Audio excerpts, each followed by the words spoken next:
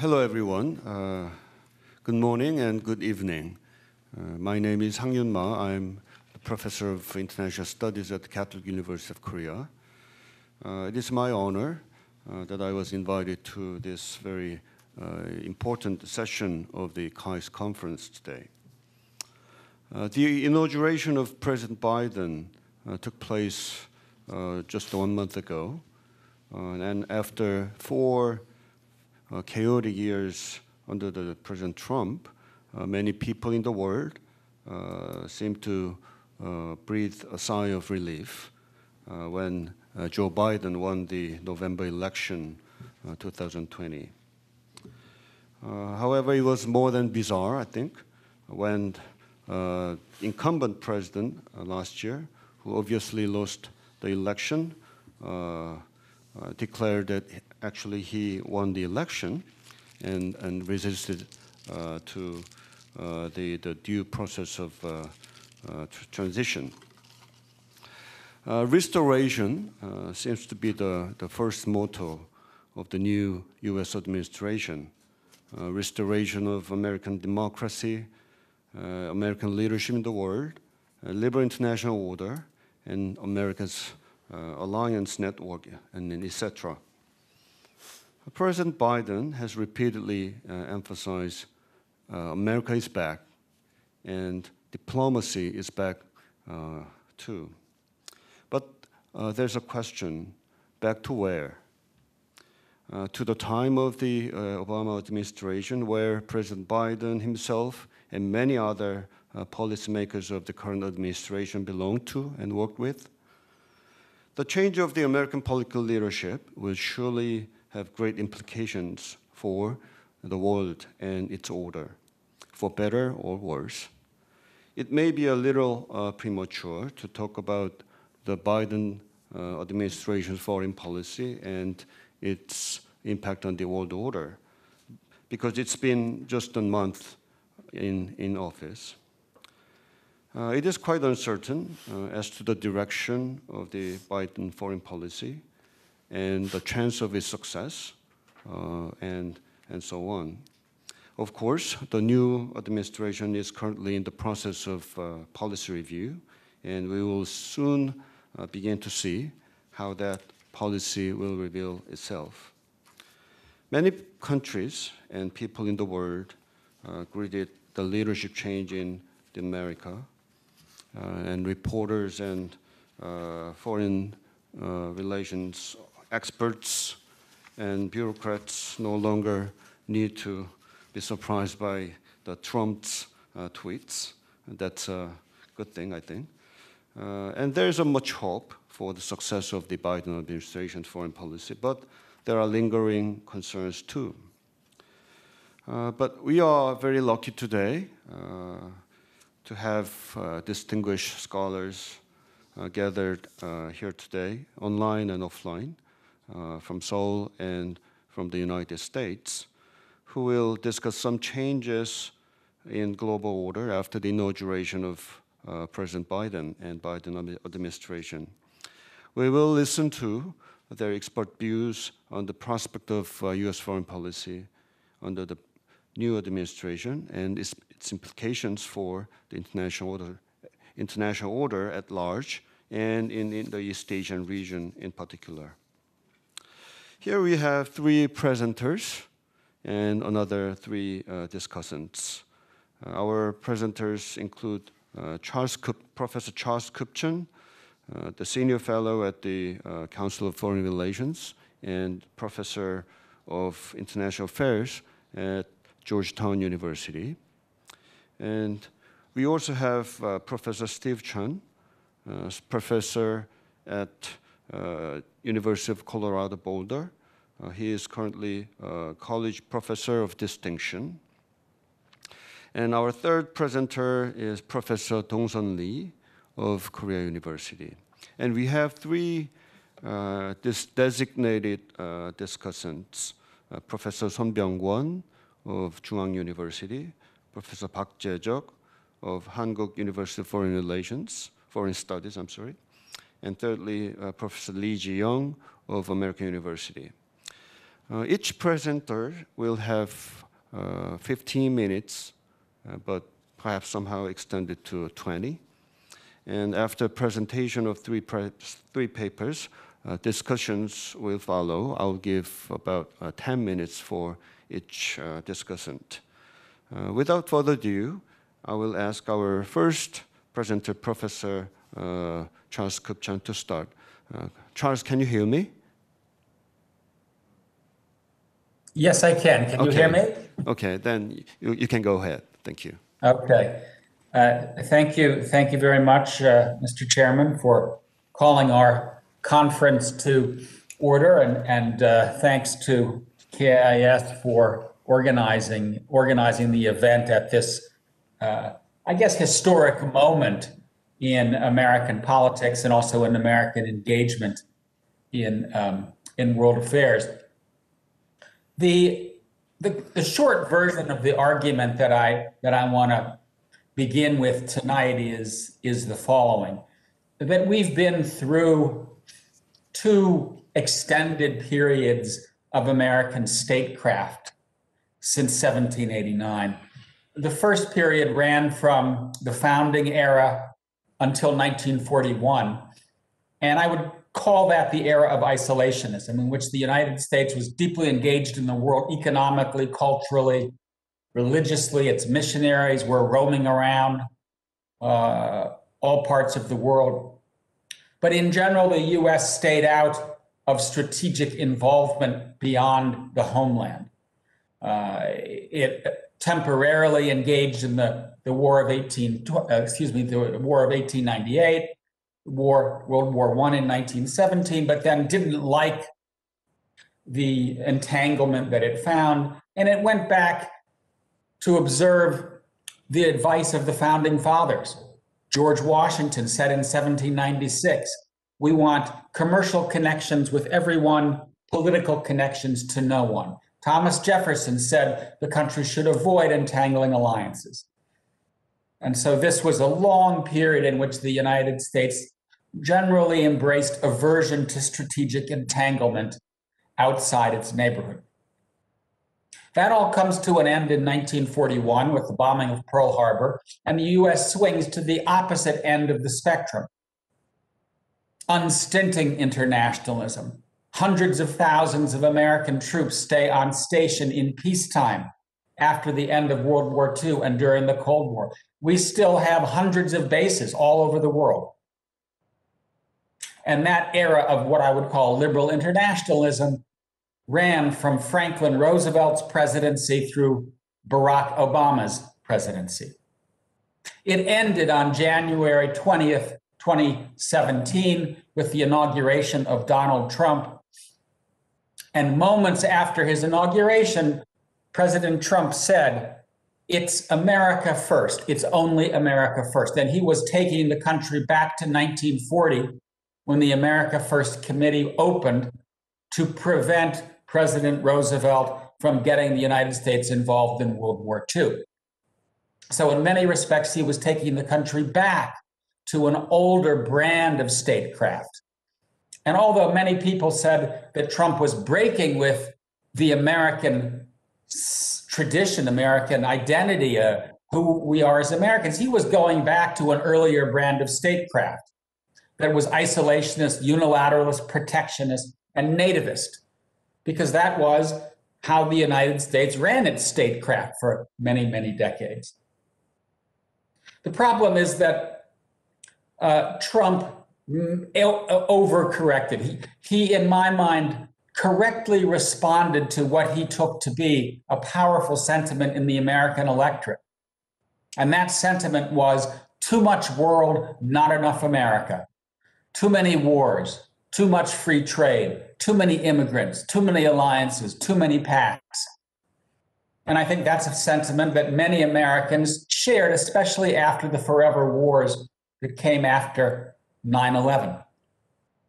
But rather than realigning American statecraft with American means and purposes, Trump vastly overcorrected. He took a wrecking ball to the world that America made. He tried to cordon the United States off from a world in which we are irretrievably and irreversibly tethered. You can't go back to the 1930s when the United States did remove itself from global geopolitics. It's not possible. So, where I think Mr. Biden is today is he needs to correct for Trump's overcorrection. He can't go back to where we were before Trump because, as I said, I think there are many Americans who feel that there has been too much world and not enough America. There are many Americans who fear that globalization did not work for them. And that's why Mr. Biden has been talking since the beginning about a foreign policy for the middle class. What does all that mean? We don't know yet because, as our chair said, it is still early on in the Biden administration. But let me be, uh, let me just kind of sketch out where I think Biden is going to head, uh, and I'll uh, I'll sketch it out in broad terms, and then I'll come back to where I think he'll be with with uh, specifically on the question of of Northeast Asia. In two important respects, two critical respects, I think uh, President Biden is already going the distance to fix the big mistakes that Trump made. Uh, and I share uh, the chair's uh, comment that uh, we can all breathe a sigh of relief. Uh, I, I, uh, Steve is is um, also here in the United States. Um, I think Professor Lee is also in the United States. I'm not sure, but it's been an unrecognizable period in American history uh, a scary period. I never thought I would be living through anything resembling the last four years ever. Uh, and in that respect, we have we have been uh, we have to learn lessons from the Trump era, not turn our back on it. Ask how did this happen? Where did he come from? How did he take the country down the path? And what can we do to make sure it never happens again? So there are two ways that I think uh, Mr. Biden is is going to correct for Trump's errant statecraft, and he's already begun to do so. One is to take the U.S. back to multilateralism and being a team player. He's already rejoined the Paris Agreement.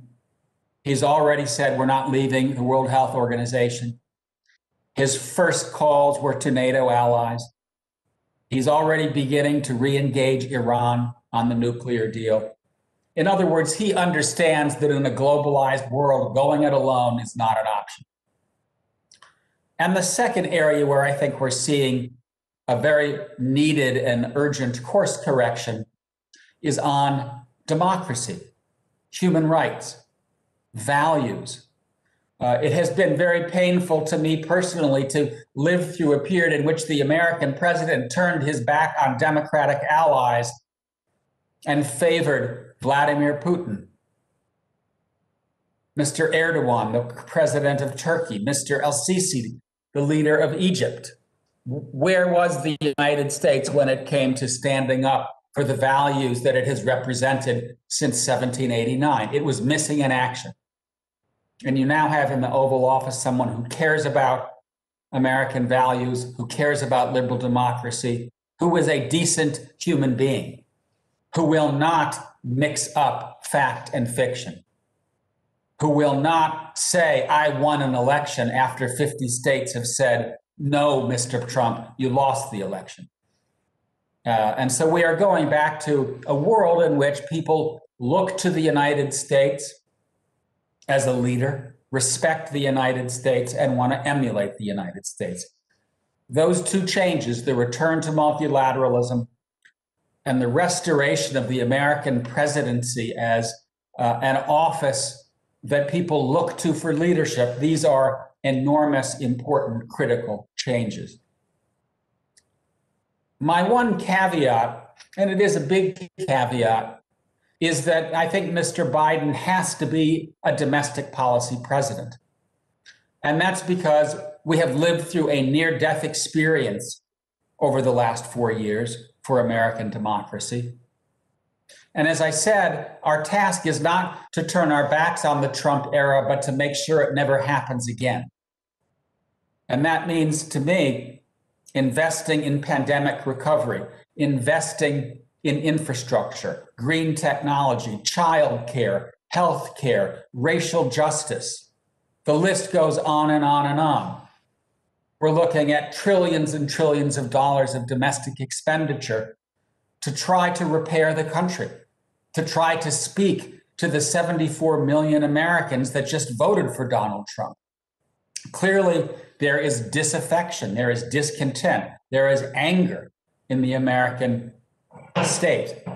And the task before us, in my mind, is to repair the country because strength abroad starts with strength at home. Biden needs to maintain control of Congress if he's going to implement his domestic agenda. That's going to require speaking to these serious domestic problems. So I think we all need to keep in mind that Biden will focus like a laser on domestic policy because he has to. And when he says this was an election for the soul of America, I think he means it. I think he he he says this is about the future of the United States as a liberal democracy. So what, what does that mean for, for American foreign policy? I think number one, it means fewer polit- resources, both political and economic. I think Biden will continue to withdraw from the Middle East to downsize the US footprint. I would be very surprised if he accepts the advice of a blue ribbon panel to increase force levels in Afghanistan. Americans have had it with the forever wars. They want out. A second area where I think you'll see continuation is on trade. Free trade has become a bit of a dirty word on both sides of the aisle. And that's because even though the liberalization of the global economy worked well for large American companies, it did not work well for a lot of working Americans. They have been on the losing end of globalization. They've seen wages decline, they've seen manufacturing jobs disappear. They've seen their $30 an hour union jobs be replaced by eight or nine dollars an hour working at Walmart or at McDonald's. And that's one of the main reasons there is so much anger out there in the American heartland.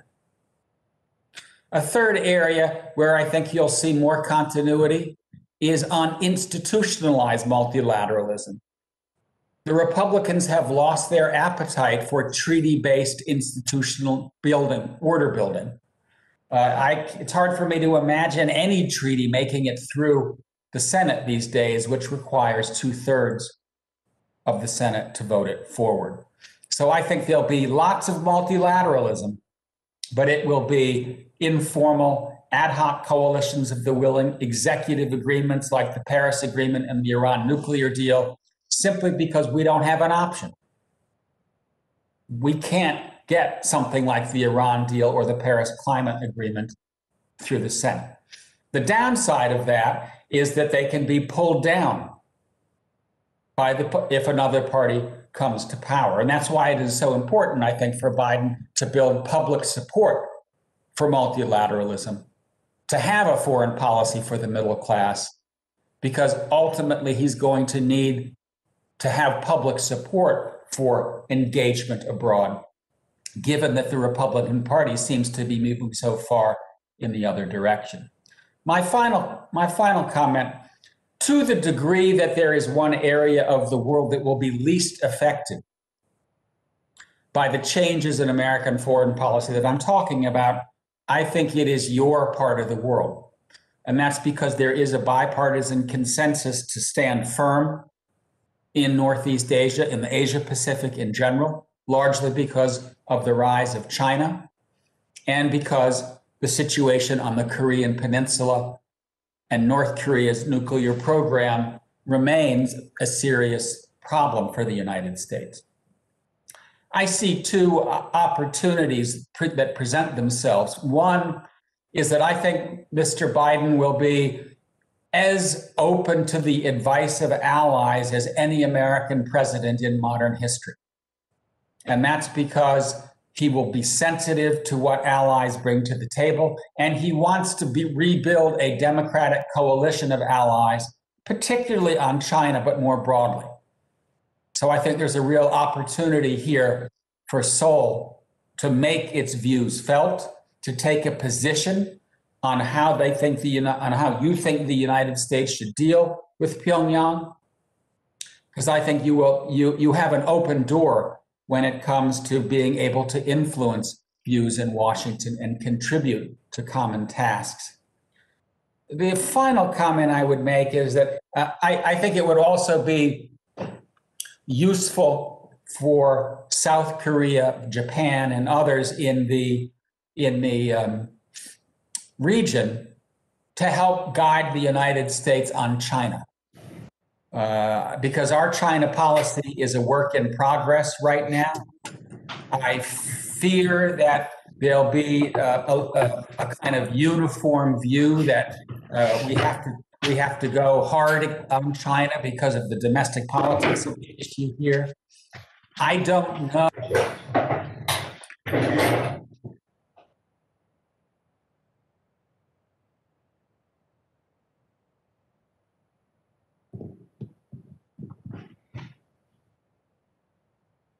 Hear you here?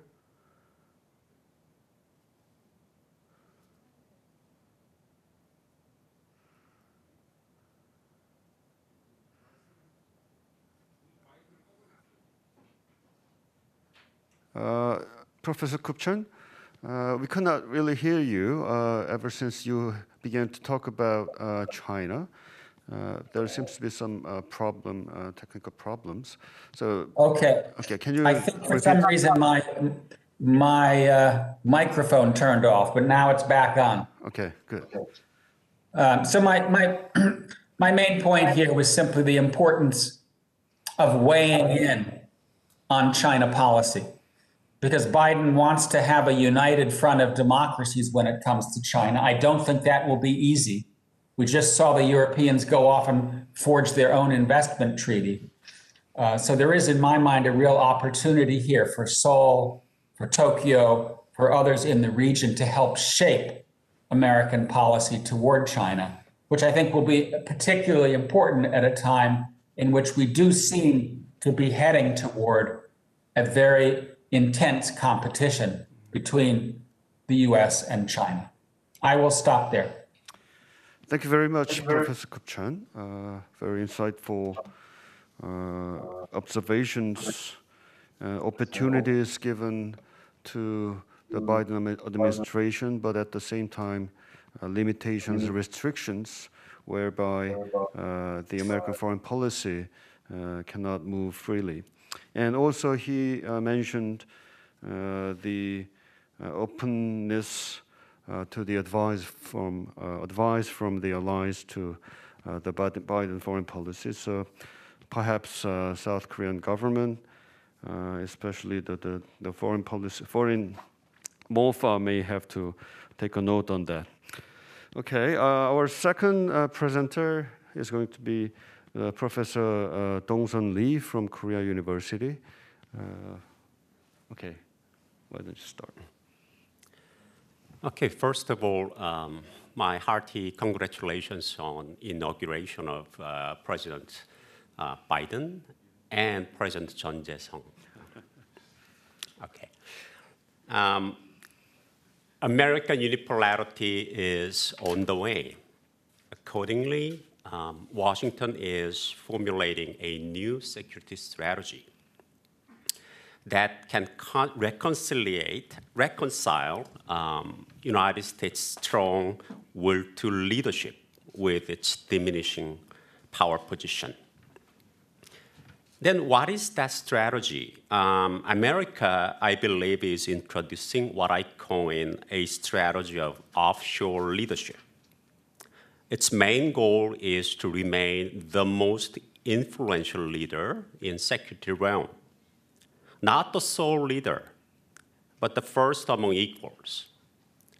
That strategy aims to attain this goal by establishing two things. First, establishing a sphere of influence or bloc firmly over maritime and coastal regions as opposed to inland areas, with naval and air power as primary means. Um, I think this transition started uh, during the latter part of George W. Bush administration. Um, since Bush administration began to step back gradually from a hegemonic strategy of leading alone the entire international system during his second term, Washington has been accepting secondary leadership roles played by other great powers such as China and Russia. Um, however, Washington, um, which still de- desires to exercise certain extent of international leadership, is not currently adopting a strategy of offshore balancing or isolationism, as some scholars predict or advocate. Offshore leadership is different from isolationism or offshore balancing. Offshore balancing abstains from exercising leadership to the extent possible and only plays minimal roles essential for preserving balance of power. Isolationism rejects international laws altogether. So, in other words, the United States presently is not pursuing a general retrenchment. Rather, it tries to share minor parts of its leadership roles with other great powers as necessitated by um, the latter's ascending power and assertiveness. To remain the most influential of all leaders, the United States makes efforts to maintain First, its military economic supremacy, and second, um, expanding its bloc built around superior alliance portfolio. Um, let me turn to the first um, sort of means of uh, being the most influential leader of the world, uh, maintaining supreme power. In order to husband its superior capabilities, the United States strives for a smart employment of all instruments of power. Accordingly, the United States has adopted a restrained defensive posture that reflects its relative power decline and fiscal problem, as well as lessons learned from the past excesses that um, Professor Kupchan talked about. It seeks to avoid using land power while instead relying on naval and air power to the extent possible. So this what constitutes offshore part of the offshore leadership strategy. And in utilizing um, naval and air power, Washington prefers coercion through threatened employment to actual application the United States also wants to shift much burden to its allies as possible in conducting military operations, especially when it comes to uh, ground operations in particular. The United States also has assumed a proactive diplomatic posture although the Trump administration backtracked from um, President Barack Obama's diplomatic measures, um, it made efforts to negotiate for new, hopefully more favorable deals with North Korea and Iran. President Biden declares now in his first major foreign policy speech quote, diplomacy is back at the center of our foreign policy, unquote. In addition, um, Washington attempts to make the most of non military instruments like commercial ties and international institutions for the purpose of maintaining its supreme position. Although President Trump decided not to join the newly formed uh, Trans Pacific Partnership, he did maintain or refurbish the extent commercial arrangement he had inherit, inherited from his uh, successors. Just NAFTA became uh, USMCA. It didn't disappear. And Trump presidency also saw a boom of economic statecraft in the form of economic sanctions. In addition, US, the US has tried to set clear priorities in foreign policy as its diminishing relative power makes untenable its old practice of taking on multiple tasks of varying urgency at once. Washington now assigns top priority to managing relations with great powers, as shown by the fact that President Biden pointed out China, Russia first among foreign policy challenges, many of them. Meanwhile, attention to terrorist organizations and rogue states like North Korea has relatively diminished. Uh, driving such readjustments in priorities are manifested anxieties generated by China's rising power and Russia's growing assertiveness. And as Americans have not experienced large scale terrorist attacks, such as since 9 11 incidents, and have concluded preventive war against Iraq was simply unnecessary, their threat perception on foreign terror organizations as opposed to domestic uh, terror organizations and rogue states has lowered to a realistic level. And the fact that a satisfactory solution is simply unavailable to the North Korean nuclear armament is another reason for Washington's reduced attention to rogue states. Okay, with um, America's renewed focus on great power relations, Asia has become central to American strategic thinking. Why? Because, um, sorry, Asia is becoming what Hans Morgenthau dubbed uh, center of uh, world politics. Hence, United States pivot to Asia may be inevitable over the long haul. And the enhancement of uh, naval and air capabilities would constitute the backbone of uh, rebalancing toward Asia. This is because the United States envisions an essentially maritime strategy for Asia as its Indo Pacific uh, strategy signifies. Okay, let me turn to the second um, sort of means or pillar of this offshore leadership strategy, which is building a superior bloc. In the crucial Asian region, the United States intends to consolidate its position of the most influential state by strengthening its grip on maritime and coastal areas of region. This means building a permanent US led bloc of maritime coastal nations. For offshore power like the United States, relying primarily on naval and air capabilities, maritime area is a first priority, and coastal area the second. These areas provide optimal bases of operations.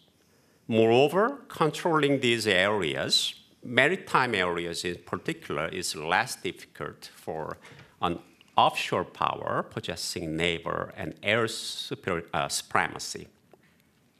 Strengthening and expanding blocks as such uh, can add to US influence in two ways. First, by forging asymmetric partnership with lesser states, US can exact sizable leverage from their dependence on it. Second, by using this leverage, Washington can harness its partners' influence for shaping behavior of other states. In Asia, America has uh, made substantial progress in bringing into its bloc um, countries, uh, either maritime nations or uh, coastal states sharing no land border with continental great powers like China uh, and or Russia. Um, and in addition, the United States is trying to bring on board um, India, Vietnam, and Myanmar, uh, which are coastal nations bordering China. While geographic uh, proximity can help China project its land power and thereby extend the influence over um, if more effectively to these countries, United States naval and air power can prove uh, equally competitive in these coastal areas. That's why United States is trying to um, extend its influence uh, as much as possible because it thinks it can do that. A successful construction of the bloc anchored in maritime and coastal areas would suffice to place you, the United States in superior position vis-a-vis China or Russia. Why? Because the bulk of Asia's wealth and strength are located there. This point is borne out by examining distribution of power among Asia's non-great powers, the group of states which Washington uh, vies with uh, Beijing or Moscow to win over. And on my uh, essay, I uh, put down some numbers uh, for you to see uh, whether the point I'm making has some empirical grounds. And this implies that the United States heading the bloc of maritime and coastal nations would have substantial advantage over a China that commands all the inland areas. Um, reigning over maritime Asia alone would give Washington a fair chance to stop Beijing from holding the top.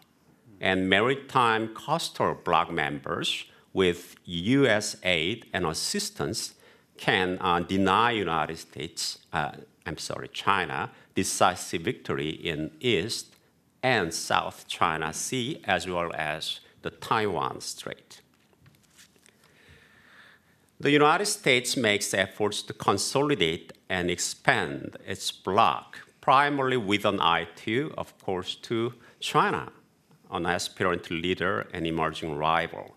To that end, Washington supports and thereby courts its present and prospective bloc members, which are expected to be reliant and therefore pliant. In order to minimize associated, associated costs, the United States primarily employs its superior naval, air, and nuclear capabilities while uh, limiting its use of ground forces to the minimum.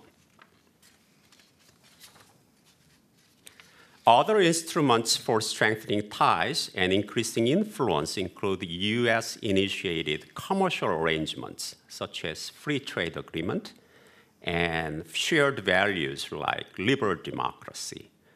We'll more frequently see uh, a um, so called comprehensive strategic uh, alliance rising, such as the, uh, the US Korean um, um, alliance.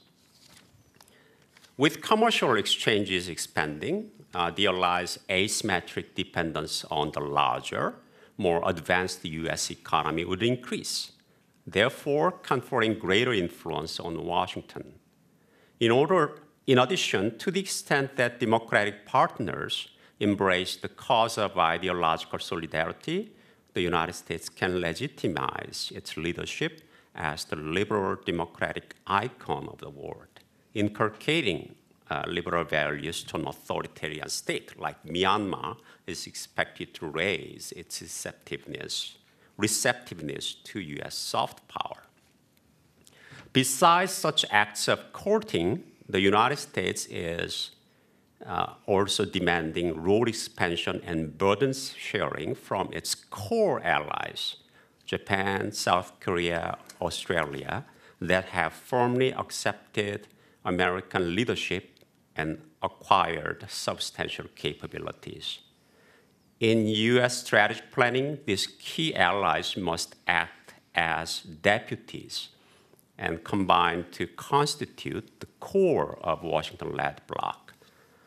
Washington's such demands were on a rising trend long before the raucous Trump era. Okay, let me uh, conclude. Um, United States made um, numerous mistakes um, during its heyday. And these failures, in tandem with other states' ascendance, has been eroding American unipolarity and thereby causing a steady transition in US international leadership. In Asia, the United States strives to remain the most influential leader inter alia by maintaining its supreme supremacy in naval and air power and establishing firm grip on maritime and coastal areas. Completion of this strategic transition will take quite some time. American unipolarity, especially its military component, is fading away only a sluggish pace and learning about old and new systemic constraints is incom uh, incomplete and reversible. Nevertheless, there are reasons to believe U.S. offshore leadership will arrive and stay long. This strategic option most befits both the U.S. will to lead and its unalterable geographical identity of maritime power. This strategy is particularly suitable for the dominant system of Asia, in which maritime and coastal areas contain the bulk of wealth and strength. Let me stop there. Thank you for listening. Okay, thank you very much. Uh, very interesting presentation, uh, Professor Lee. Uh, Professor Dongsun Lee uh, suggested uh, probably offshore leadership, uh, which is a concept that he just presented, will be the probably the new emerging security strategy of the United States in the coming decades.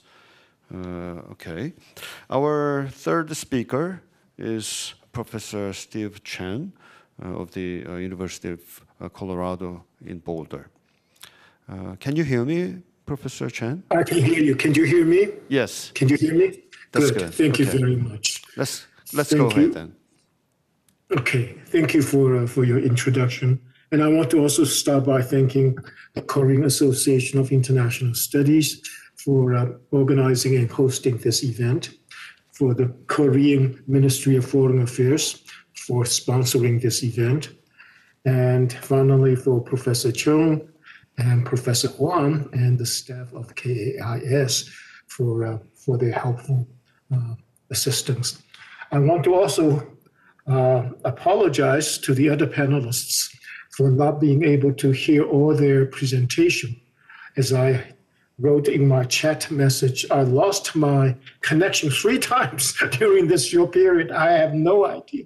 I have no idea what happened. Uh, I would have very much loved to have heard what Charlie has to say about Sino-American relations. So I regret and apologize for missing big parts of your talk. And also, I am crossing my fingers that I would not be disrupted again during my presentation, losing the connection a fourth time. Uh, let me also start by saying that there's a Chinese adage that candid remarks can be harsh to the ear, and good medicine can be bitter to the taste. So some of the things that I say may perhaps offend some of you, but I thought I would just speak my mind, and then perhaps we have a, uh, a vigorous uh, debate.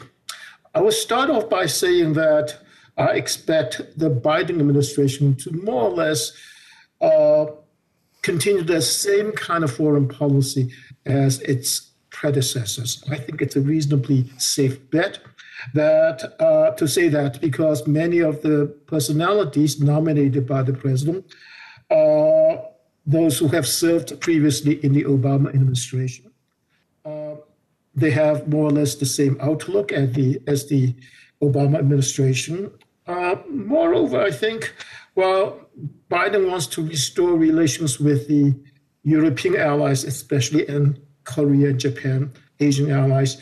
Um, in other respects, I think uh, he will actually continue uh, Trump's policy, at least with regard to China, for example. He has not pulled back. Uh, for instance, he has not lifted the tariffs on, on Chinese goods uh, imposed by Trump. And in some ways, I think actually relations between the United States and Russia could actually be worse than during the Trump era. So I have some forebodings that we may be entering a uh, new Cold War. That, to use uh, a familiar phrase, the winter may be coming. Uh, I would just simply refer to three concepts, and then I will move on to one big uh, concluding uh, remark. And the three concepts, first of all, uh, refers to path dependency. What has happened has happened. It cannot be taken back. And I think the damage done by the Trump administration has been very serious and even long lasting in its effect. Even the Europeans now are becoming more skeptical, less confident in the reliability of the United States as an ally not to mention China. In the case of China, uh, Beijing is very much offended, uh, enraged by what they perceive to be uh, the United States reneging on previous commitments, tacit understandings, such as not to send high level US officials to, to Taiwan to meet with the Taiwanese uh, president, such as Alex Azar did that, uh, such as uh,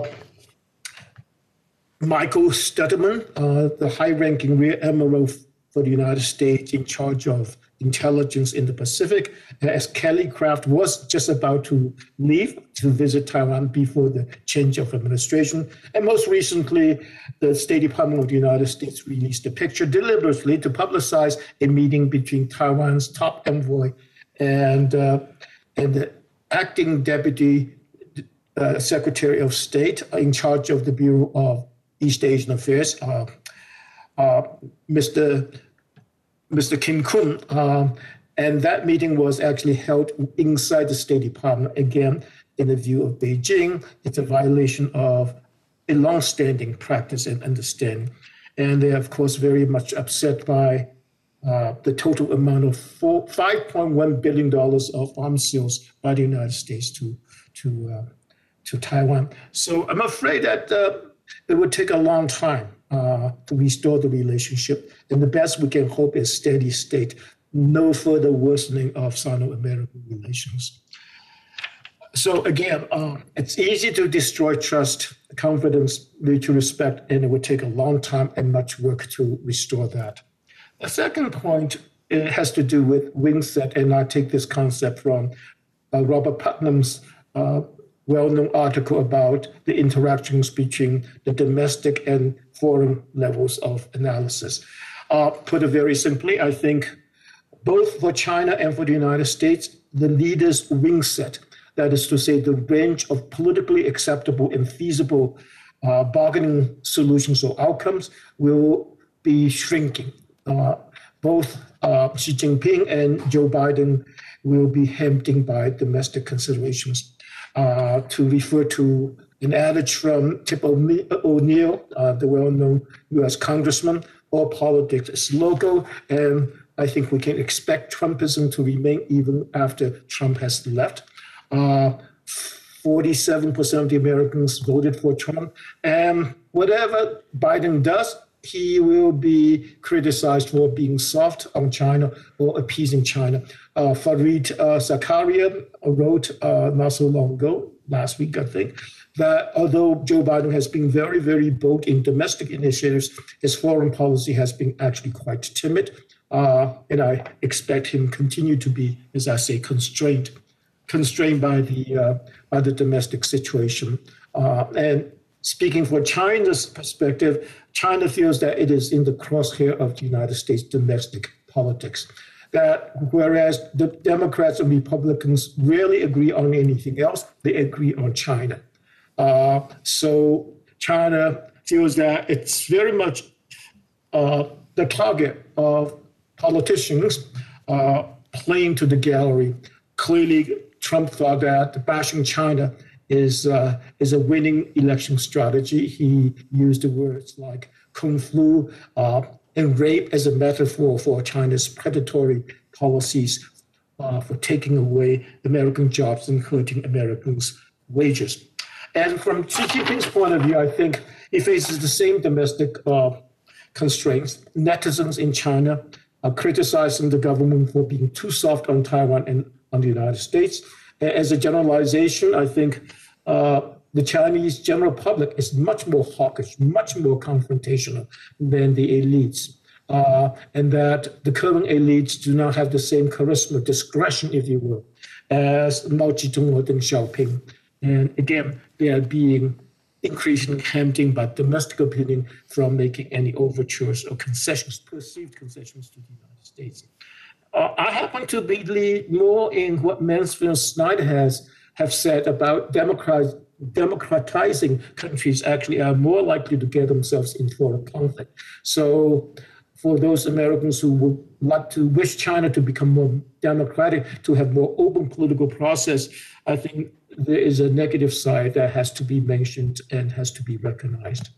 Um, and indeed, if one wishes China's economic growth were to stall or even to reverse, uh, we should be careful in making this wish because China, whose economy has declined, uh, its rate of growth or its absolute growth has reversed, may be a far more dangerous China than a growing China, uh, even without catching up as Tom Christensen has said China can be a problem, right? Without catching up, China can pose a problem. Uh,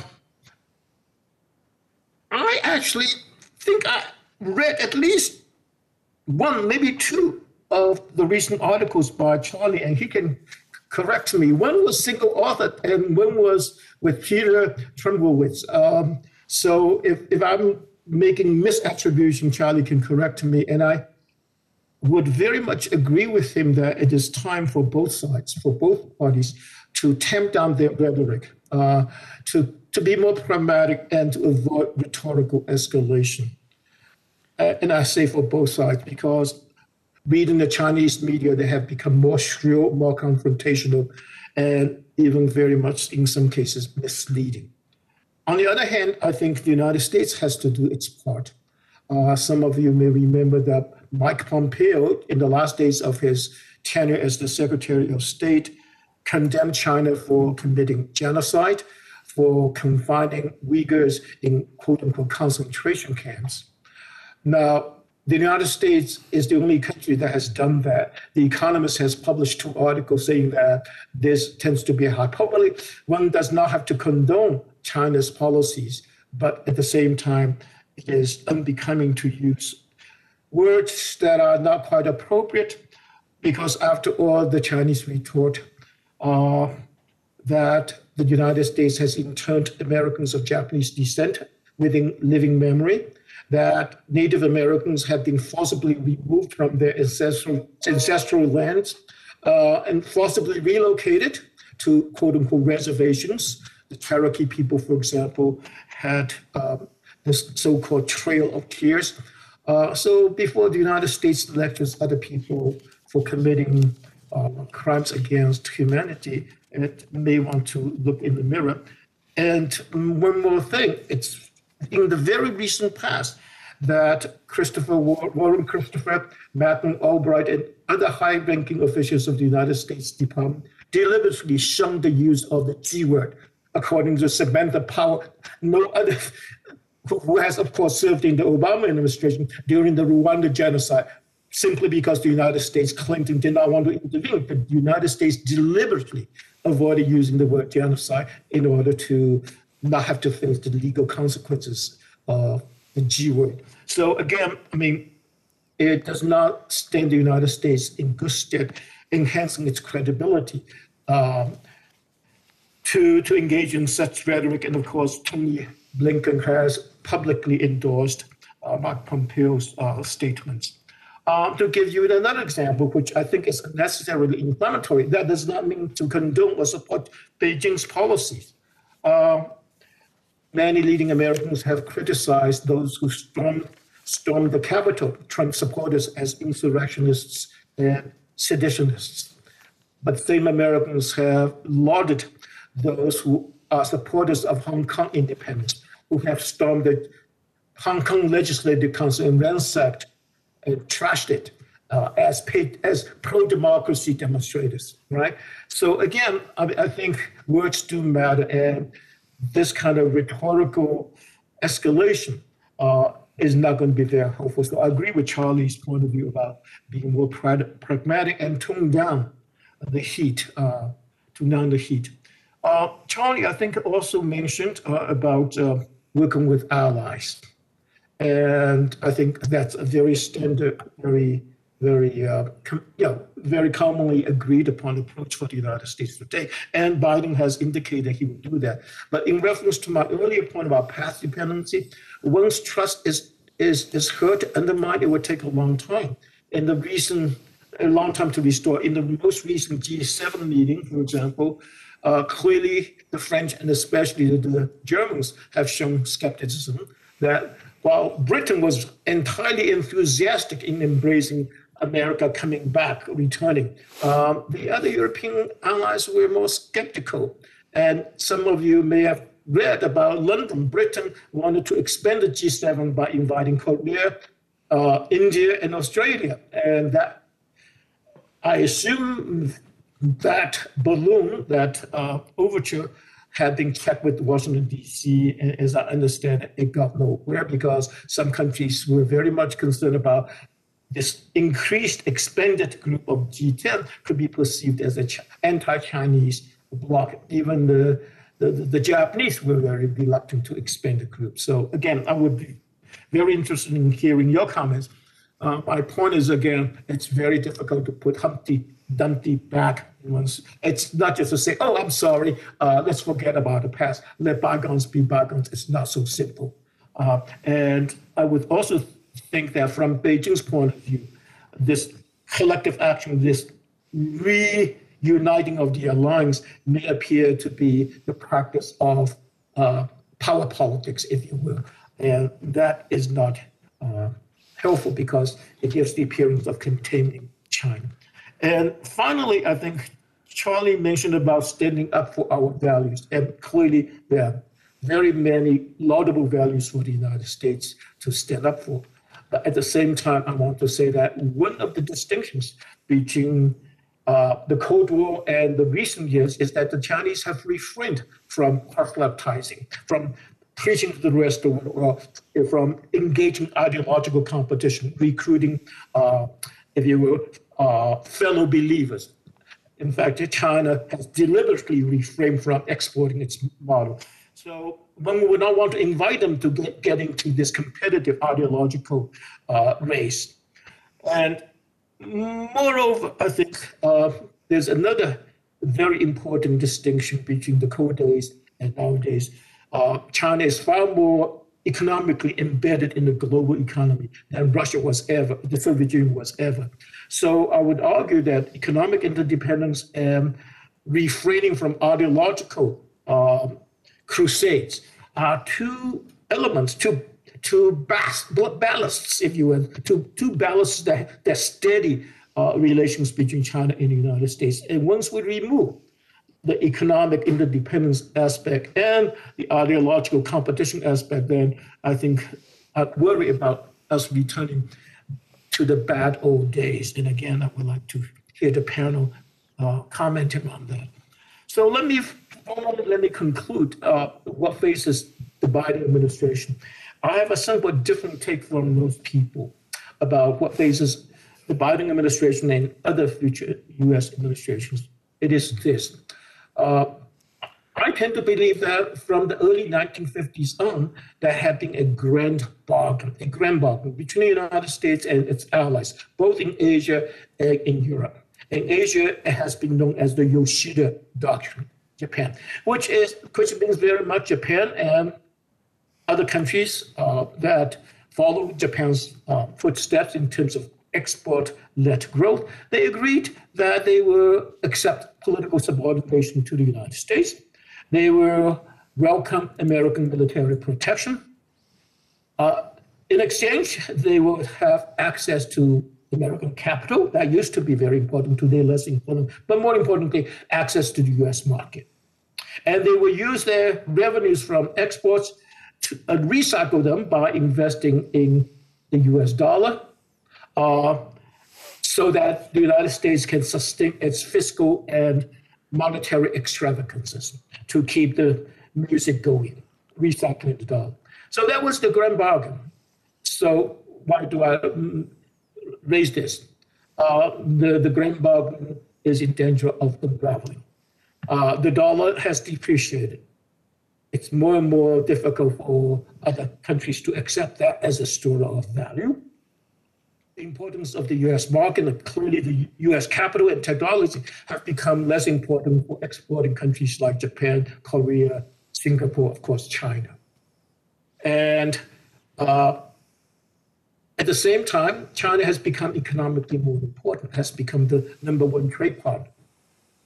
And at the same time, the US military dominance, while still very, very important and still powerful, uh, it is becoming uh, less so than before.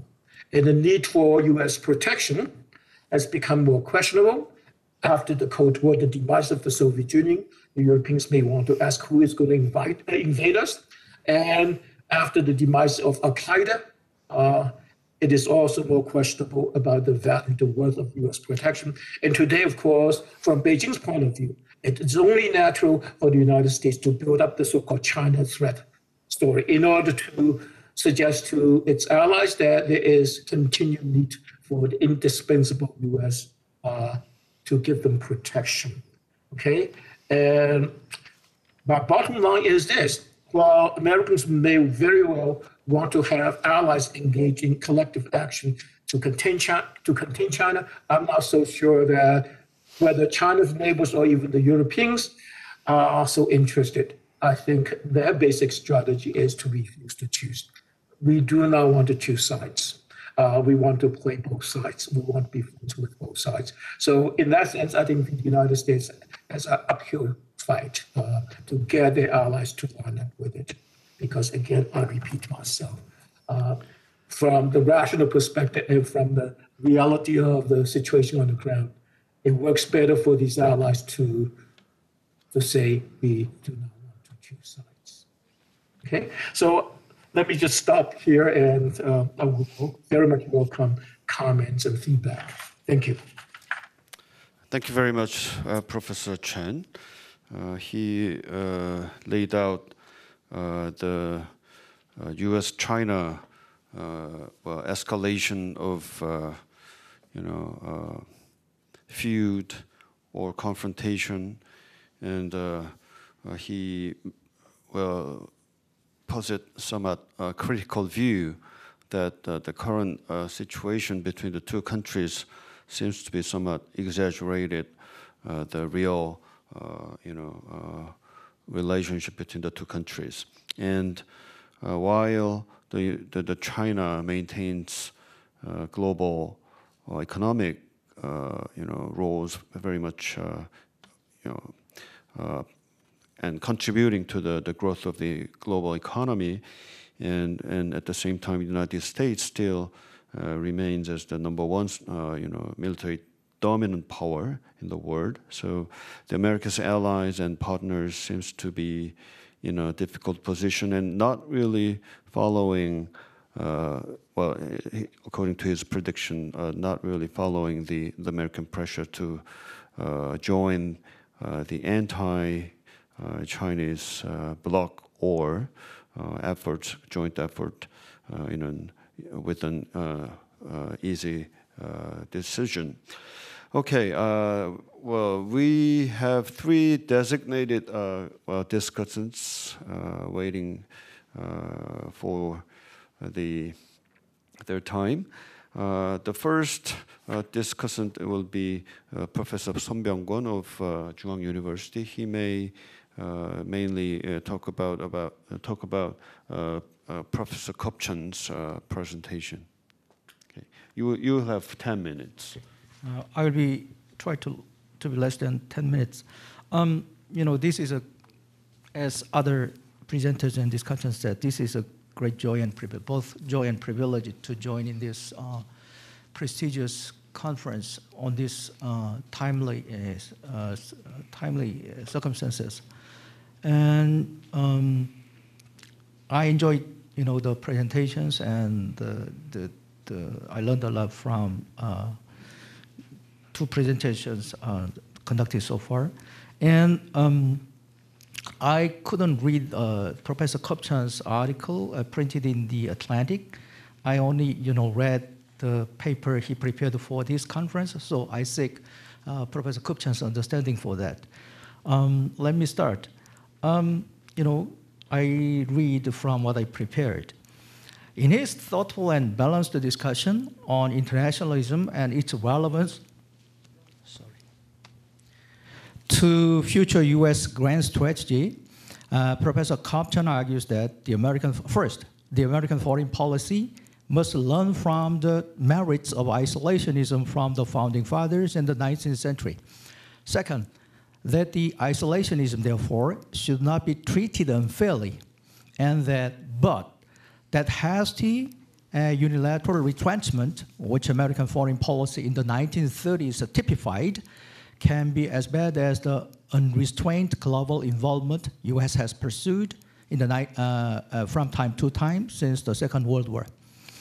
Throughout the paper, he, Professor Kupchan suggested that the new, the post-Trump grand strategy should be some point between what he says, doing too much and doing too little which is which is just a judicious, a judicious pullback or measured pullback. It's a pullback, but it should be judicious, it should be prudent, and it should be measured. After having gone through the turbulences of Trump administration for years, uh, whose foreign policy was harshly criticized as too much transactional and as equal to discarding the post-World War II US-led multilateral and bilateral alliance systems, US foreign policy now seems to search for an alternative optimal grand strategy. In that process, Professor Kupchan warns the US foreign policy makers not to categorically abandon what they should learn from the isolationism, I agree, and to calibrate future US global involvement accordingly. Among other things, Professor Kupchan, Kupchan's argument seems to me the impression that the US got passively entangled, not got actively involved. If my impression is wrong, uh, Professor Kupchan can correct me in his response time in global affairs from sometime around the late 19th century. And he also argues that, uh, gives the impression that the involvement around that time was not based on the scrupulous calculation of the cost and benefit. If this impression, my impression holds, is it true that, can you say that the US haphazardly pushed itself, got entangled, not intentionally, strategically get involved, pushed itself outward to compete with European powers, beginning with the US Spanish War and afterward. You know, uh, the famous uh, Frederick Jackson Turner, the author of The Frontier in American History, and William Appleman Williams, uh, the author of the uh, prestigious book to my mind, The Tragedy of American Diplomacy, will argue otherwise, I think. They may argue, different from uh, Professor Kupchan, Kupchan, that the exhaustion of the free domestic land and the malfunctioning of US capitalism led the frontier America to, according to you know uh, Jackson Turner, and the corporate America, according to you know Williams, to actively search for and ventilating outlets abroad thus paving the way for U.S. strategic uh, global involvement. The second point I'd like to take issue with is that Professor Kupchan seems to overly emphasize, to my mind, the legacy of the founding fathers' isolationism at, and its lingering influence throughout American history, particularly when Professor Kupchan uh, states in his article, this is quotation, a yearning for geopolitical detachment has from the outset imbued the American creed and has part and parcel the American experience, quote. I could concede that the isolationist sentiment must have prevailed much of the 19th century America. But that sentiment seems fit more with the national mood of the 19th century agricultural America, the Jeffersonian and Jacksonian Americas. But as we read from the Amer American history, the US emerged uh, as the US emerged as an industrial nation since the end of the Civil War in the uh, latter part of the 19th century, particularly in the North, there might have been some different you know, uh, sentiment, which is expansionist, developing among the corporate and financial sectors and financial elites. I doubt, frankly, the monolithic and undifferentiated influence of isolationism was that strong, uh, uh, beginning with the uh, latter part of the 19th century. So I think we, need, we may need a more nuanced and differentiated explanation of the uh, isolationist influence. The last one I'd like to uh, raise is that um, uh, some different polls can show different aspects of fluctuating uh, American uh, public opinion, particularly uh, with respect to the level of U.S. involvement in foreign affairs. Professor Kupchan quotes in his paper several polls uh, which I think is think, uh, directly and indirectly indicating the uh, the wide, broad, wide and broad, you know, isolation, isolationist sentiment of American public. But you know, some other polls say, uh, I think, uh, different aspects show different aspects of uh, American public opinion. For example, one of the 2019 Pew Research poll, which was released December 17, 2019, uh, you know, uh, suggest a quite different trend from the ones, you know, uh, raised uh, by Professor Kupchan. In that Pew Research poll, 68% of the respondents says U.S. should take into account the interest of its allies, while only 31% of them says the U.S. should follow its own national interest. So if this uh, poll holds, I think the you know, internationalist sentiment is pretty strong yet in among the American public, although it was before, uh, you know, uh, uh presidential election. Other than that, 53% uh, of the respondents in the same poll says it is best for the future of our, of our country, for, the, for America, to be active in world affairs. 53%, more than you know half of the American public. While 46% of them says we should pay less attention to problems overseas you know, more than half of the American people still think that we have to, you know, get involved. That's for the interest of the United States, the Pew Research says. So I generally agree with uh, Professor Kupchan that an increasing number of American foreign policy makers and the American public are more and more getting serious, really, about pursuing judicious retrenchment, avoiding, at the same time, avoiding rash disengagement. I agree that with that. The problem with that is twofold uh, in, in very, very uh, general sense. Uh, one is domestic one, and the other was uh, international one. Uh, domestically, I doubt the American public would easily concede that U.S. global supremacy to any other nation. At the same time, however, this is uh, you know this is different side of this uh, aspiration for supremacy. At the same time, however, the American public is less willing to pay cost that supremacy inevitably requires. For example, including stationing US troops in Korea, in Japan, and, and Western Europe. This double standard, I guess, is inherent in American public since the World War II.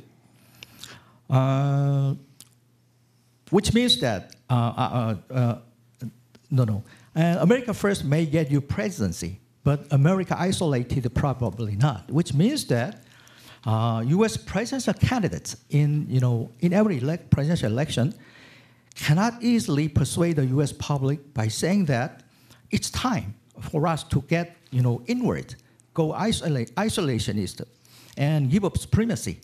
And we have no choice but to live as one of the great powers. Any, no, I cannot, you know, uh, I doubt any presidential candidate can say this to the American public and win the presidency. No, I don't think so.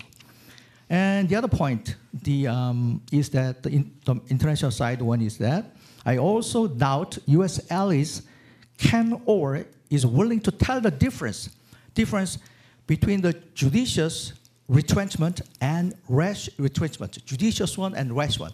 Can Korea, can, can Korea tell the difference? Can Japan tell the difference? Can European allies tell the difference? They are retrenching anyway, whether it's a prudent one or rash one. I doubt that. I, would, I doubt that the, uh, you know, um, Koreans or Japanese can tell the difference between two types of retrenchment. So um, two modes, the two modes may look the same to some allies, so maybe triggering them to bandwagon, bandwagon with China or any other rising great powers here and there, which could be quite worrisome to U.S. foreign policy makers. Let me stop here. Thank you. Okay, thank you very much. Uh, our second discussant is Professor Jiyoung Lee of uh, American University. Is she online? Okay, can you hear me? Yes, thank Okay. you. Can you hear me? Yes, very good. You can go ahead now. Thank you so much, Professor Ma. First of all, I would like to um, thank the Korean Association of International Studies for this kind invitation um, to be part of uh, this important discussion. Um, I was asked to comment on Professor Dong-Sun Lee's very interesting paper titled America's Emerging Security Strategy. Um, so what I will do is um, let me first briefly summarize his main argument, and then I will situate his argument in relation to the other two papers, and then the larger theme, and um, and then I will actually get into uh, sharing some of my thoughts on his main um, argument and concepts. Um, so the central theme for this panel um, that you know the, the the theme that runs through all three papers um, are the question of America's global role and continuity and change in U.S. grand strategy. Um, so Professor Lee's argument is that U.S. grand strategy can be characterized as offshore leadership. And uh, the point of departure for his argument is that United States desires to lead the world, whereas its capabilities in terms of military and economic power um, has declined vis-a-vis other powers such as China. Um, so the offshore leadership strategy, therefore, is to um, design to maintain its status as the first and powerful military uh, power, but as the first among equals, rather than as a hegemon or the sole leader. This strategy entails the establishment or consolidation of the United States um, sphere of influence um, in maritime regions and coastal areas. And the primary means uh, of power projection will be naval and air power as opposed to ground forces. Um, if I may situate his argument in relation to the other papers, um, you know, given that this, these papers are about grand strategy, uh, in terms of the causes of these strategic adjustment, um, um, Professor Kupchan's um, paper shed light on the internal social um, and cultural dimensions of isolationist and internationalist traditions that exist within the United States, while Professor Chan uh, focuses more on the international pressures that arise from the changing balance of power between China and the United States. Um, so to Kupchan, uh, American grand strategy resting on the interna- international ambitions, quote, grows more politically insolvent. Um, by contrast, for uh, Lee, the basic premise of uh, Professor Lee's argument is that America's internationalist impulses will continue to shape American grand strategy. Like Chan, Lee broadly embraces a realist approach towards grand strategy, but views this newly emerging strategy and patterns captured in offshore leadership as United States being adopting a accommodationist strategy, um, whereas you know Chan, Professor Chan actually ar- argues uh, to me that he seems to suggest that the United States has failed to um, accommodate the rise of China. Um, since offshore leadership is at the heart of uh, Lee's argument, um, with some very important policy implications for the Biden administration, um, let me unpack this concept a little further. First, I think it is very helpful to think about this idea of strategy of offshore leadership in terms of how it is different from offshore balancing. Uh, like Professor Lee has stated in his paper, United States under the offshore balancing strategy um, will try to refrain from exerting leadership as much as possible and would not necessarily care about the character of the international order. Whereas under this offshore leadership, United States will care about the nature of the international order and continues to desire to lead the world uh, as a as a country that promotes the international order that rests on international institutions, democratic governments, free markets, and human rights.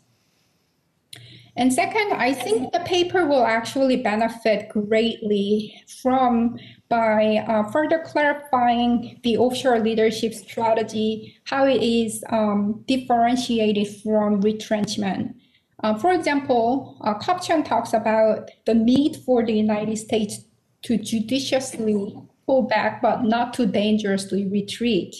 Relatedly, um, the question that I have for Professor Lee will be if Biden administration implements its Asia Korea strategy based on this analytical concept of offshore leadership. How similar or different will the United States alliance with South Korea be?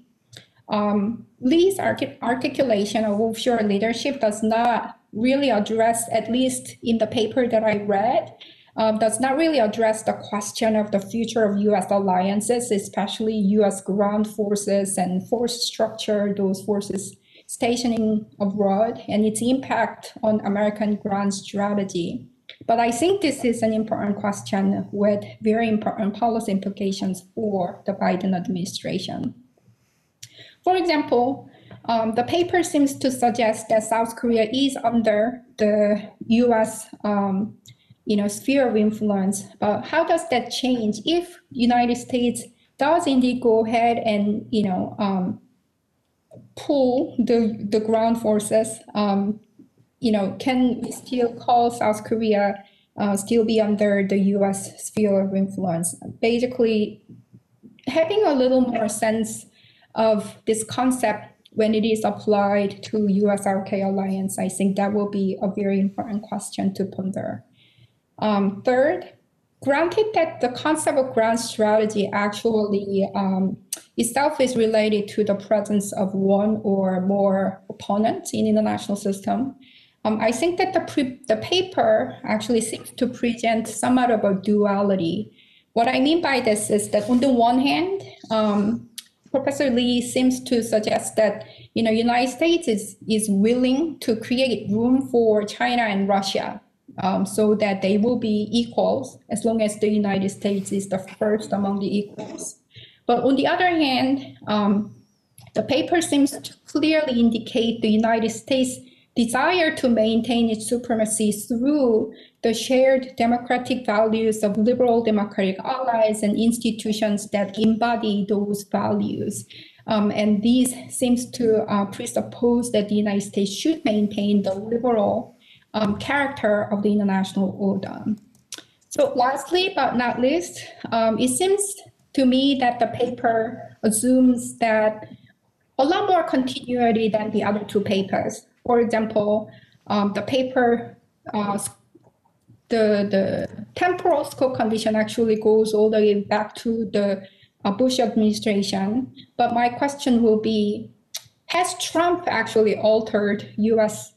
Um, ability to lead? It's one thing that United States actually wants to lead, but it's another that um, others actually will basically accept U.S. leadership the same way. So basically, this question of whether Trump foretold the U.S. what U.S. can and cannot do um, rather permanently in some important ways, despite uh, the Biden administration's uh, willingness to lead the world uh, as a team member.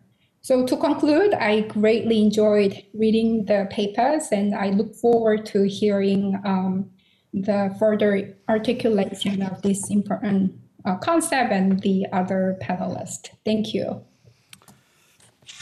Thank you very much, Professor Lee. Uh, very insightful and deciphering the, the concept that uh, President Lee Dong-sun uh, proposed.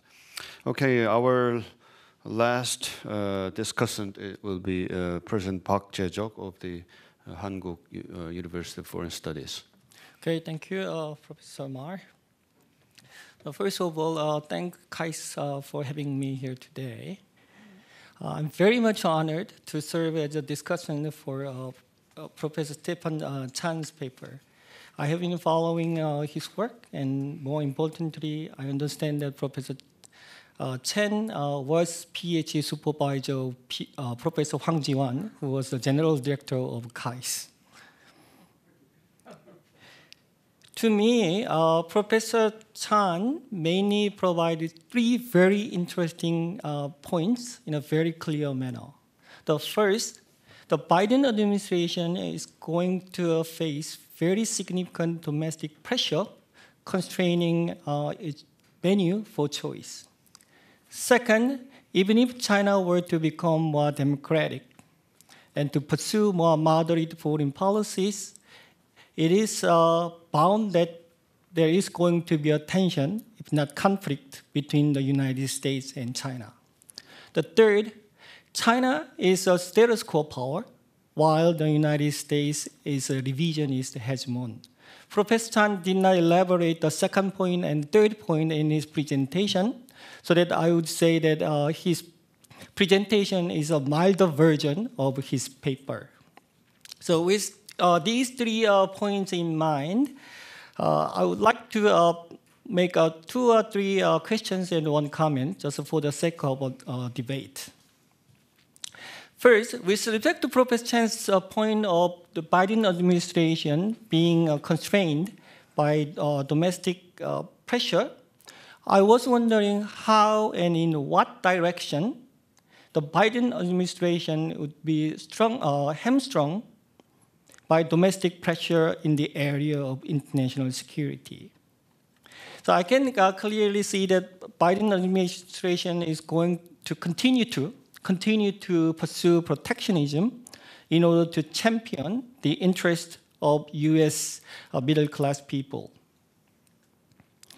That said, what about our U.S. security policies?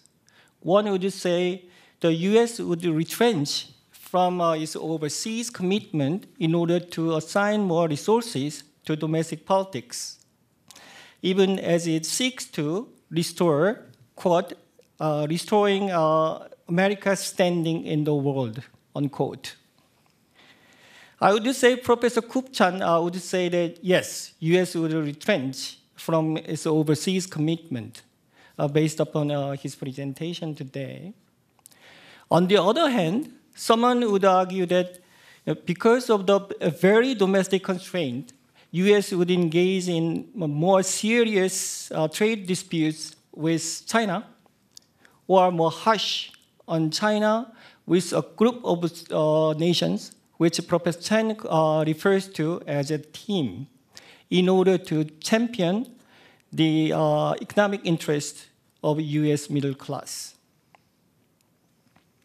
The second point I would like to make in relation to the first point is that Biden administration would be constrained not only by domestic pressure, but also the Democratic Party's traditional foreign policy platforms. Biden administration is a democratic government. Traditional uh, Democratic Party's foreign policy platforms focus more on human rights and uh, democracy.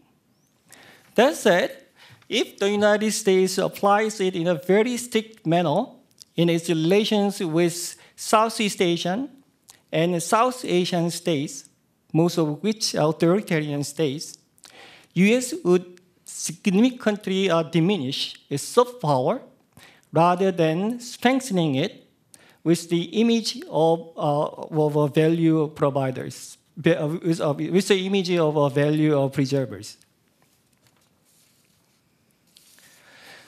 That being the case, China uh, is likely to take the opportunity offered it to drive a wedge between the United States and its uh, regional states. As a result, U.S. Indo-Pacific strategy would be significantly damaged. Again, my point here is that the Biden administration would be hamstrung not only by domestic pressure, but also by the Democratic Party's traditional uh, on, on security affairs. You know, to me, it is hard to imagine that uh, President Biden is going to shake hands with Cambodian uh, Prime Minister Hun Sen in 20, uh, 20, uh, 2022, next year, when Biden uh, attend the EAS, East Asia Summit. You know, the, the, the chair of the ASEAN meetings this year is Brunei, but the chair is going to be uh, uh, at uh, Cambodia's hands next year. So that, in order to attend the EAS, I'm not quite sure whether Biden, President Biden is going to shake hands with President Hun Sen with a broad smile. The third uh, question, just you know, for the uh, academic curiosity, since uh, Steve, uh, Professor Chan uh, referred China as a status quo state, while the United States as a, uh, a strong, strong revisionist hegemon, I was wondering what would uh, the sizable middle powers in this region that uh, maintain alliance relationship or security relationship with the United States be.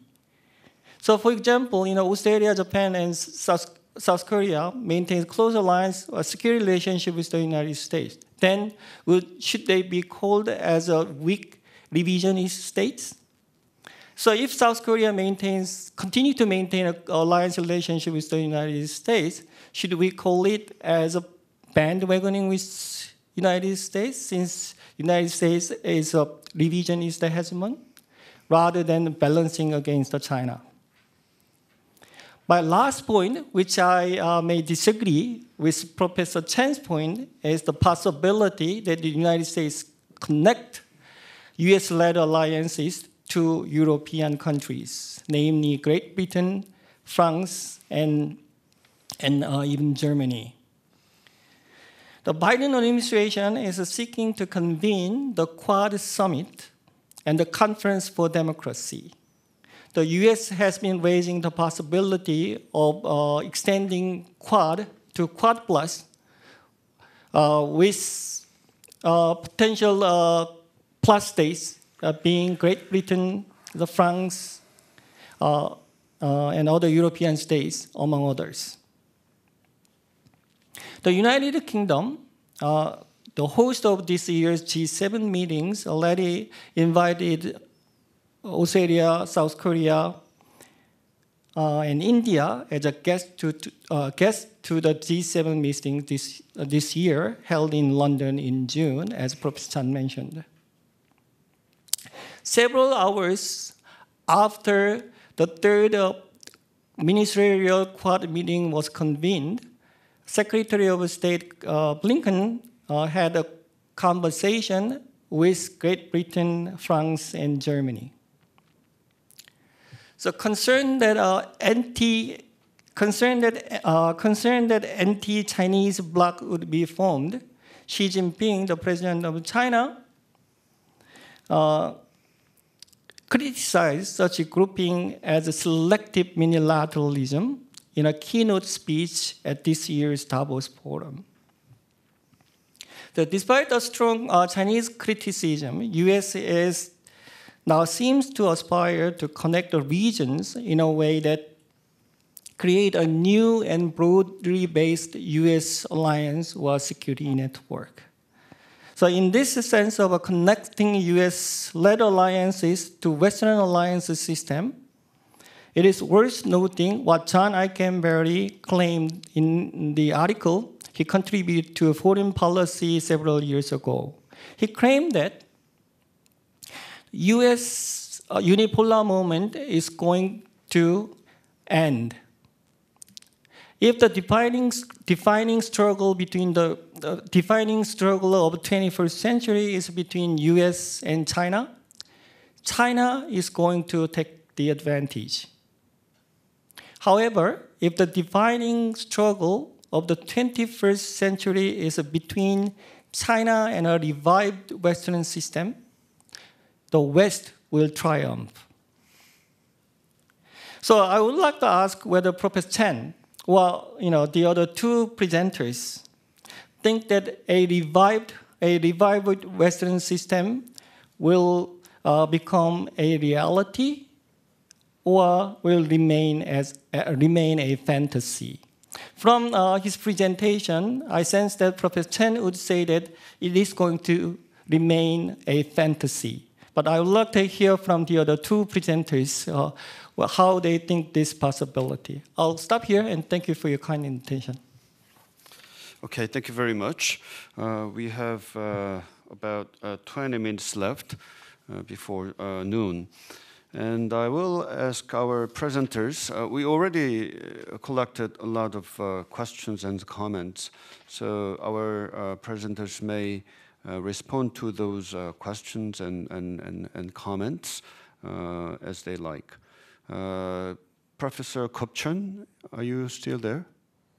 Okay, you, you can start.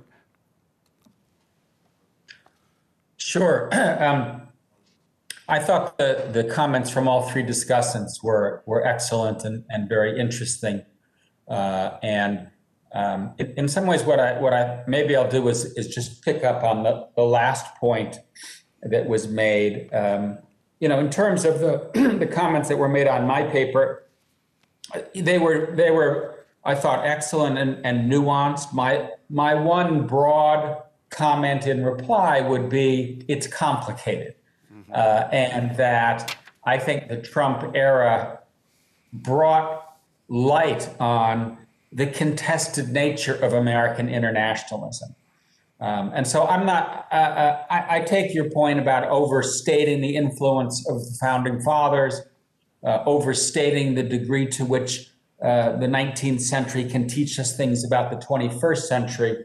But there is a very fluid political situation here in the United States. Both Steve and I talked about it the, the press of domestic business, the, the impact of polarization on, on foreign policy.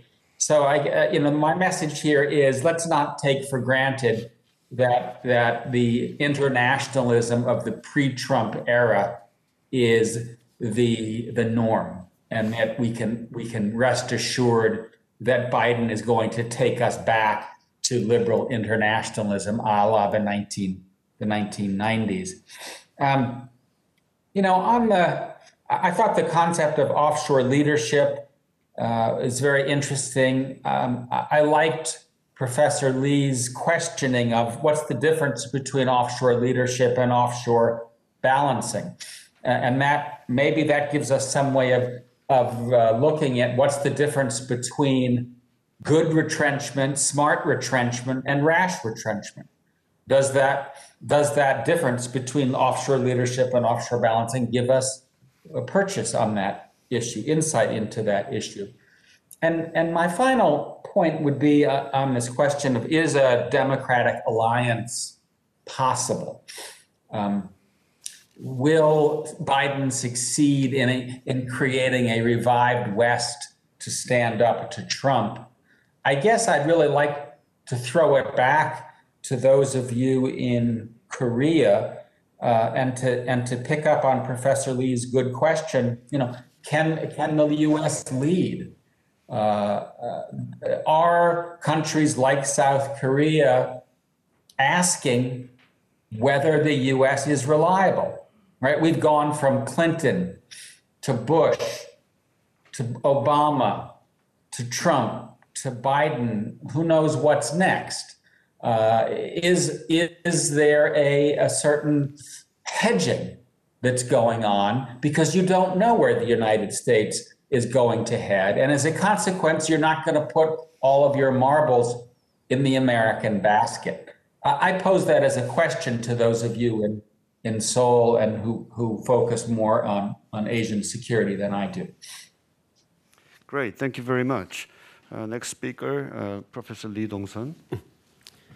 Thank you. Lots of uh, good questions and comments. Um, first of all, um, let me turn to the um, how we differentiate between um, offensive leadership and uh, uh, offshore leadership and offshore balancing. Um, to my understanding, you know, uh, my um, offshore balancing has a buck passing logic at its core.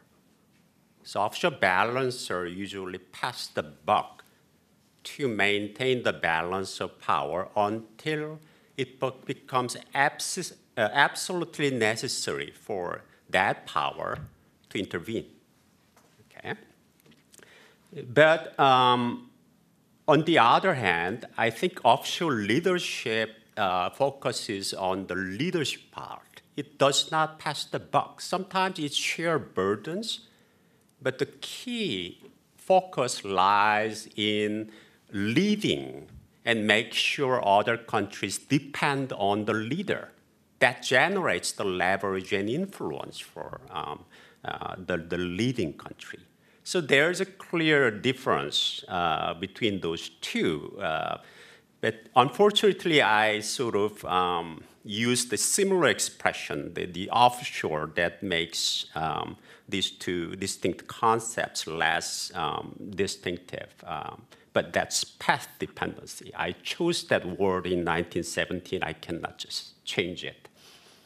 And retrenchment. Um, when it comes to retrenchment, my uh, offshore leadership uh, falls into the category of partial retrenchment, not general retrenchment. But how far? How far retrench? Um, retrenchment, partial retrenchment to the maritime and coastal region. That's what I mean by offshore leadership. That's the, what offshore stands for um, maritime and um, coastal. So maybe um, offshore leadership concept has more concrete content than just retrenchment or um, you know um, or pulling back and other um, uh, lesser, um, less um, uh, concrete concepts. Okay, then let me turn to the accommodation issue. I think United States has shown uh, willingness to accommodate but again, there's a limit. As long as China or other great powers stays within the inland area, then that's fine. You can lead all the inland countries.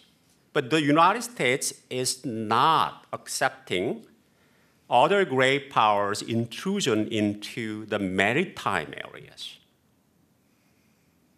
And that's why the United States is uh, clashing with China over you know, Taiwan Strait, East China Sea, South China Sea, and other sort of farther sea, blue oceans outside.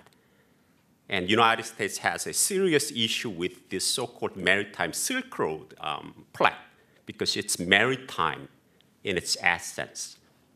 And the second clash point between the United States and China is the fact that the China is a coastal nation. It's not an inland nation. So its presence in a coastal region itself makes the coastal region of Asia as a gray area in which China's land power and the United States naval and air power can equally compete. So that's why there is a still uh, competition going on between China and the United States, even though the United States has been more willing to accept China's leadership or Russia's leadership in the inland region. Okay, what if US, US pulls its ground forces from South Korea? What happens? I think very little. Why? Because the United, uh, if you look at the map, South Korea is a coastal nation, um, geographically speaking, but geopolitically speaking, since North Korea lies between uh, China and South Korea, and there's simply no chance that North Korea would allow Chinese troops on its border to South Korea. South Korea is like an island, offshore island to China. So it belongs to the maritime region of Asia in geopolitical sense. That means that the United States can use its superior naval and air capabilities to protect and support um, um, South Korea, even without any ground forces on the ground. So that's my answer to uh, Professor Lee's um, um astute um, comment. And liberal international order. Um, okay, what I'm thinking about is this: if United States adopts, indeed adopts and fulfills the goal of offshore leadership, then the liberal international order will become more geographically bounded. It would not be a global order. It would be an order limited to the maritime and coastal region. Okay, that's what's going to happen, I, I believe. And second is liberal international order, as a result of America's offshore leadership, will become less liberal why less liberal? Because in order to expand the bloc, the United States need to be more light on emphasizing liberal values because if the United States emphasizes liberal values too much, it will just scare off other you know, authoritarian potential partners. And that's not good. So the United States will put less emphasis on liberal part. So liberal international order will be there, but it will be more geographically bounded and with a less liberal emphasis. And finally, Trump factor. I think um, Trump was not an aberration from my perspective um, when it comes to offshore leadership um, developing in Washington. Um, Trump was very heavy on offshore part of that strategy. He wanted to pull ground troops out, and he wanted to build up um, naval, air, and nuclear forces. Okay? And I think he was didn't want to sort of get involved in inland areas like uh, Afghanistan, you know, Iraq anymore. So he, um, under his watch, I think U.S uh, security strategy become more offshore oriented than before. So he, that's what his contribution to the uh, general direction toward the offshore leadership. But on the other hand, um, Trump was light on the leadership part. That's where he sort of over um, corrected. Uh, he underestimated the elites and public's desire to lead the world as first among equals. And that's why I believe he lost last election. Okay? But now I think uh, Biden is bringing back and reinforcing that leadership part of the offshore leadership. So that his contribution will be uh, on that part of um, uh, strategy. And of course, Trump uh, damaged U.S. power, uh, both hard and soft and that uh, accelerated the waning of American unipolarity. And um, uh, actually, I, I, believe that uh, will contribute to the, uh, um, the, the, the um, uh, leading to the fact that um, uh, American strategy will become um, less leadership oriented because it has less sort of um, capabilities to lead um, because of the uh, Trump's you know mismanagement of politics and economy and all other international affairs. But I think you know he um, sort of uh, again, I mean, he made U.S. strategy and military posture more offshore oriented, and that's how he contributed to this general trend toward um, offshore leadership. And finally, reliability issue. I mean, we all know that United States has never been reliable ally. Why? Because it's across the ocean, right? It, it just has no vital interest in other areas than the Western Hemisphere, especially North America. It has been unreliable. But why the United States has the most allies and bloc members? Because it's the least unreliable great power on the earth. I mean, China, eh, think about China, South Korea relying on China, Russia, Japan. It's, it's simply unthinkable. So I think, you know, unreliable, American reduced unreliability matters, but it's not a game changer altogether because the United States is still the least unreliable great power on the earth. Okay, thank you. Okay, our final uh, response from the Steve Chan.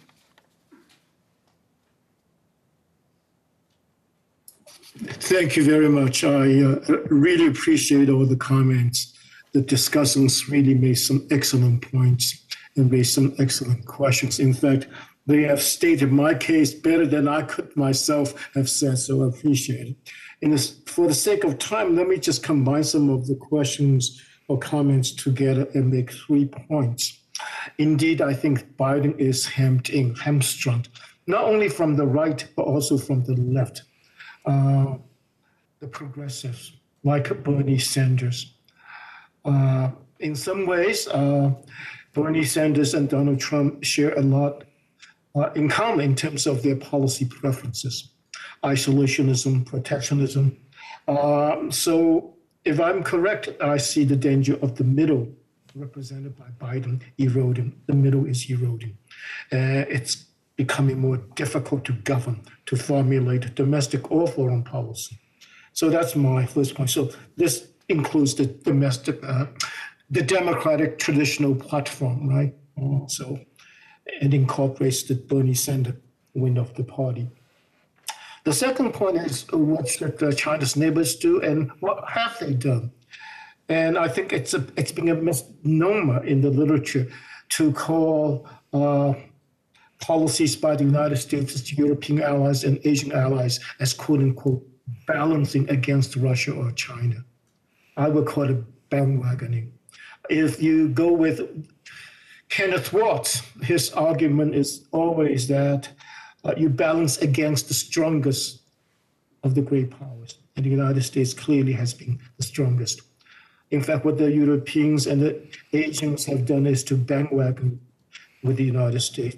Remember that the alliance with Korea, with Japan, happened long before China was rising in the 1940s, late 40s, and 50s. One could not talk about China's threat at that time. China, even today, cannot even invade Taiwan. And one needs to recall that Chinese troops left North Korea shortly after the armistice. The United States troops are still in Korea. Does South Korea really need the United States for protection? Uh, that's not just simply a rhetorical question. Uh, the first Secretary General of NATO has, in his moment of candor, said, What is NATO for? To keep the Germans down, the Russians out, and the Americans in. So that leads to my third point. And the point is that there is a consistency in British and American foreign policy which is to prevent another regional hegemon from arising, whether in Europe or in Asia. Uh, whenever France was threatening to become too strong, Britain uh, worked in favor of Germany. And when Germany became too strong, Britain tilted toward France. Britain, as the saying goes, has no permanent friends or enemies, it only has permanent interests. And of course, when the Soviet Union became uh, too powerful, the United States and Britain opposed that. If you look at Asia, the United States worked against Japan when Japan was too powerful, and today, when China is too powerful, it seeks to contain China. So it swings its weight to support the weaker of two parties. And if you look at the Middle East, the same thing. Supporting Iraq or Iran, Saudi Arabia or Iran. It's really a question of divide and rule. Uh, again, I think the realists are closer to the mark when they say ideology and the rest really do not matter. It's real politics. Um, just think one for one moment, and I will say this and then conclude. The United States and China got along quite well during the Nixon, Ford, and Carter administrations when China was much more authoritarian. The United States joined China to contain the Soviet Union. The United States was more supportive of Taiwan when it was under one party military martial law and authoritarian regime of Chiang Kai shek. When Taiwan starts to liberalize and democratize it, the United States abandoned Taiwan. So basic logic tells me that democracy doesn't really represent the most important uh, consideration or even uh, well, let me just leave it that way. So I tend to believe that people like Mearsheimer, even though I disagree with him a great deal, at least they have intellectual honesty to admit what I call a spade a spade.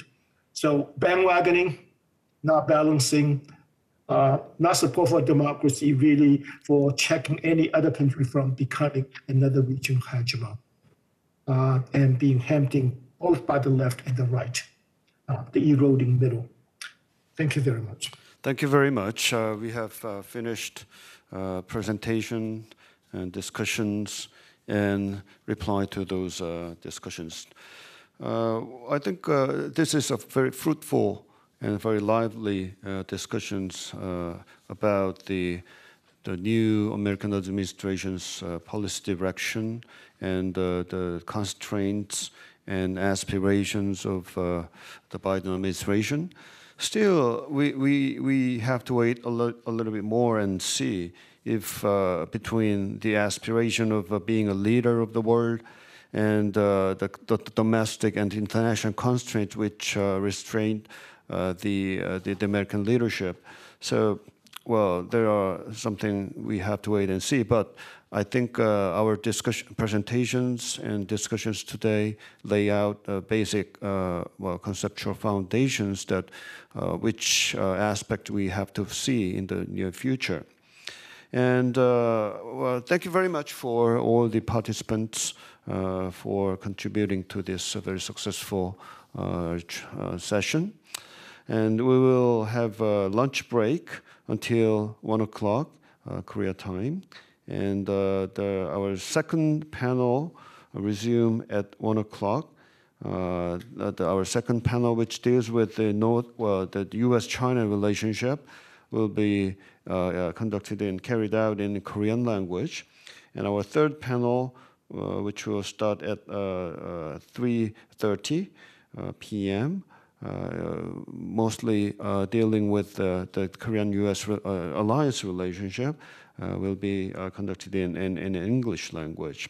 Thank you very much once again uh, for your active participation. Thank you.